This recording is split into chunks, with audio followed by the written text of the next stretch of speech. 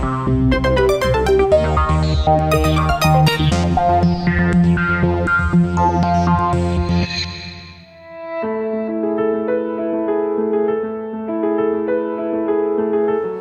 felsőoktatásban tanuló tehetséges fiatalok számára nyújt színvonalas bemutatkozási lehetőséget az Országos Tudományos Diákköri Konferencia. A megmérettetés minden páratlan év tavaszán 16 tudományterületi szekcióban kerül meghirdetésre. A pályamunkák bírálói a tudományos élet jeles képviselői, a tőlük kapott visszajelzés és értékelés jelentős segítség a pályázóknak a szakmai előrehaladásban. A hallgatók számára a részvétel már maga is dicsőség, hiszen a szekciókba, amelyek az egyes tudományterületek országos döntői, azok a fiatalok nevezhetnek, akik a megelőző intézményi karikonferenciákon erre teljesítményükkel jogosultságot szereztek. Az OTDK hat évtizedes múltra tekint vissza.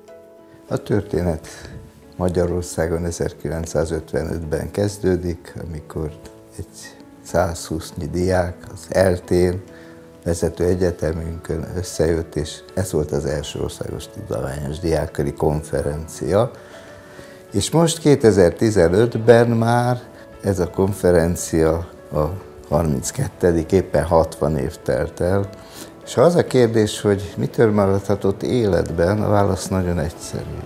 Igazi értékek mentén nemzedékeket nevel, a felnőtt és a fiatal tudós nemzedék összefogásáról szól, arról szól, hogy az igazi képzés az face-to-face -face valósul meg, egy mester, egy tanítvány vagy egy tanítványi kör munkájának az eredménye, amikor nem csak azt teszi a diák, amit neki nagyon muszáj, hanem mert tehetséges, szorgalmas, szerencséje volt egy jó mesterre, tudományos iskolára talált, és készül az életre.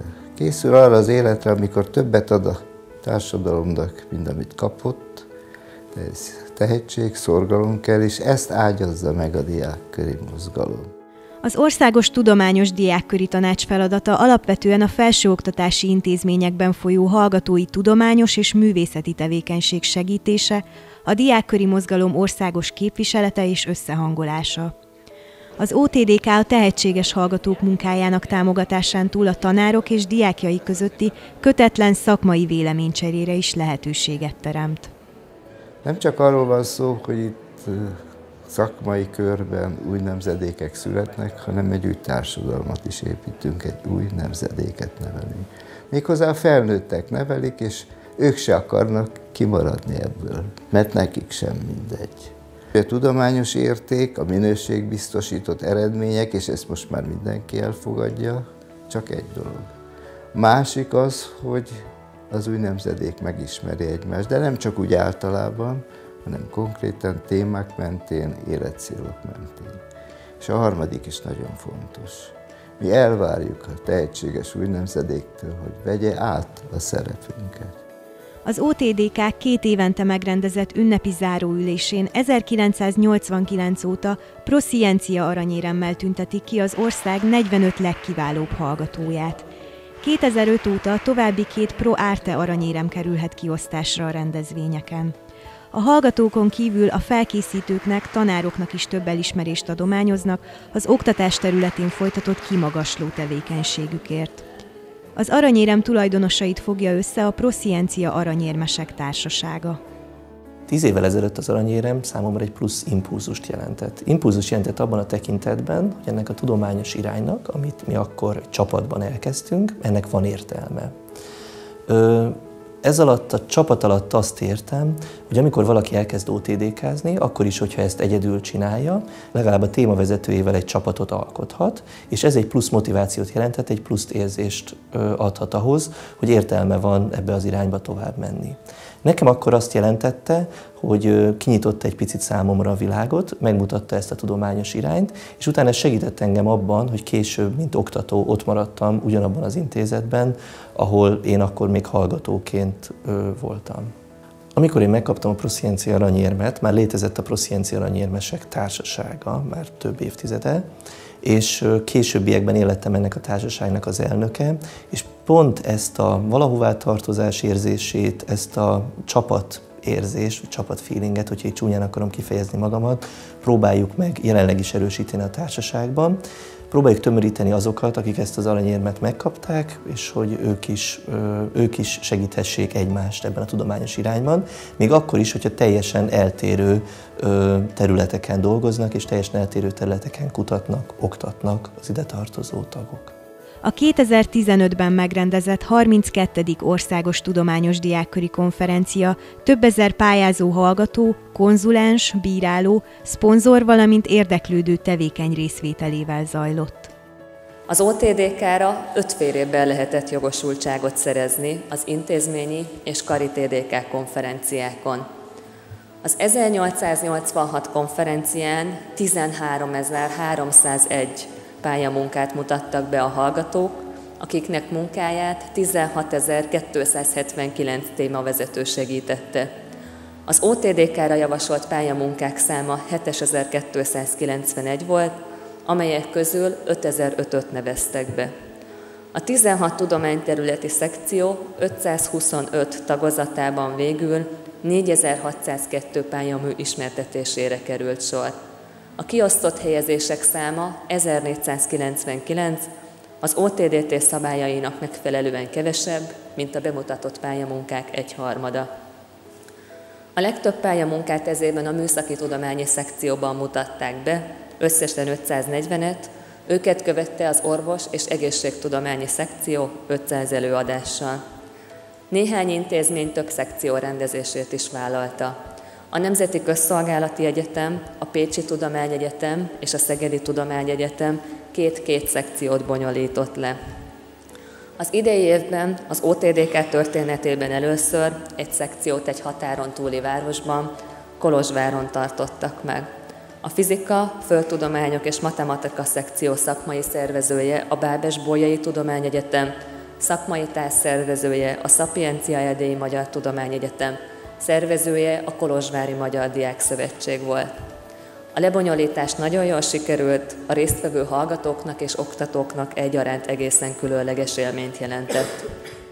Egy-egy OTDK óriási élmény, azt kell, hogy mondjam, nekünk is, mint az OTDT titkárságának. Nagyon sok hallgatóval kerülünk kapcsolatba, akik különböző tudományterületeket képviselnek.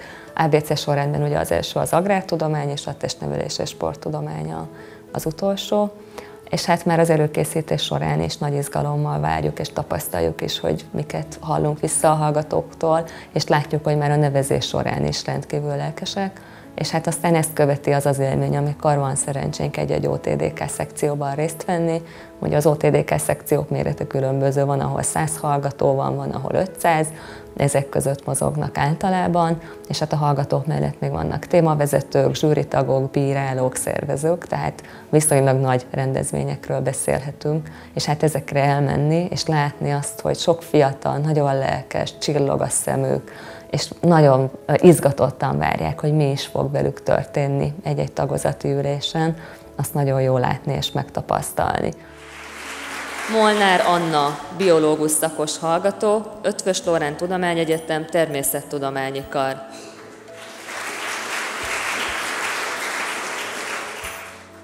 Az egyes számú patológiai intézet és kísérleti kutató, rákutató intézetben a tumorbiológiai laborban dolgozom már öt éve, és itt elsősorban vastagbéldaganatoknak a molekuláris jellemzésével foglalkozom.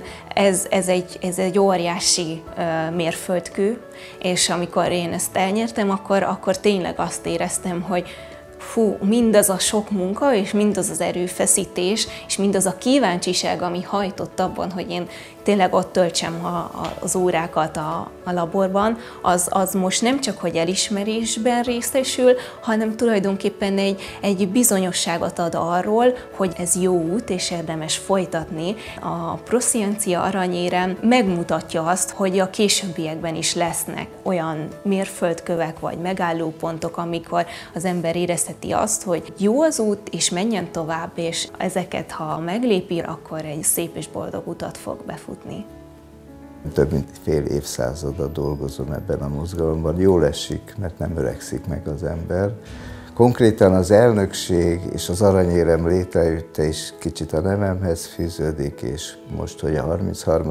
TDK-ra készülünk, én a 30. évemet töltöm elnökként ennek a mozgalomnak a koordinációjával. Még egy sajátosság van, amit fontos mondani. Itt minden tanár ingyen dolgozik, minden tanár, ha elkezdi egész életében, ezzel az ügyel foglalkozik, mert fiatalon tartja, mert a jövő tekintetében erőt ad neki.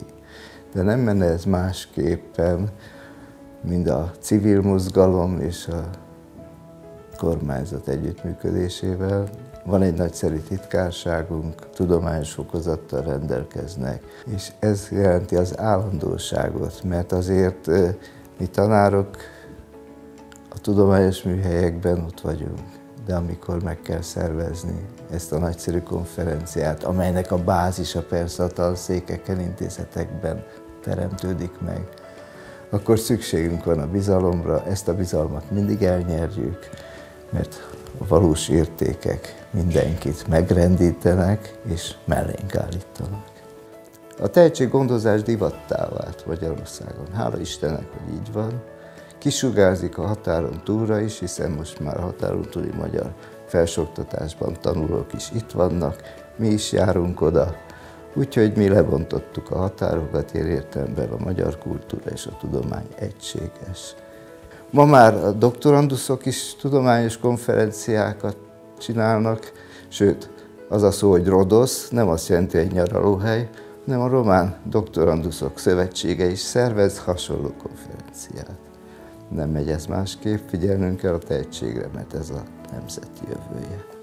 Az OTDK egyik specialitása az, hogy párhuzamosan tulajdonképpen kettői zajlik belőle, hiszen már tavaly, amikor a 32. OTDK rendezvényei zajlottak, azzal párhuzamosan az intézmények rendeztek olyan intézményi TDK konferenciákat, ahol a 2017-es 33. OTDK-ra szerezhettek jogosultságot a hallgatók. Van egy mondásunk, és ezt mindenki hittel vallja, a TDK örök. Kis jelvényel is megünnepeltük a 60 évet, és ennek bizonysága, hogy a 33. Országos Tudományos Diákköri Konferenciára készülve már több ezer diák regisztrált az intézményi konferenciákon szerzett mandátumok alapján. Úgyhogy várható, hogy nagyszerű lesz, várok mindenkit, hogy méretessék meg az intézetében, a karon, az egyetemen, és jöjjenek az országos konferenciára.